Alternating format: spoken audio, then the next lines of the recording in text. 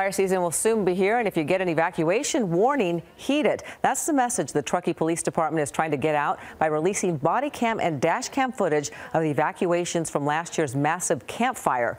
They want people to see just how chaotic and dangerous an evacuation can be when too many people wait until the last minute to leave. Optimal parking lot, let's go! Get out of your car! Trying just stop. Don't go north. Just stop because we're trying to clear the power lines. In case the fire comes this way, we're stuck here. Why aren't we moving? We're, man, please, I can't. We're stuck here, okay? Just take my word for it. There's really no safe spot anywhere. It's just this point where it is what it is till they get the road cleared, man. Follow the line of traffic. We're trying to clear everything up. It's stuck now, but that's where we're working.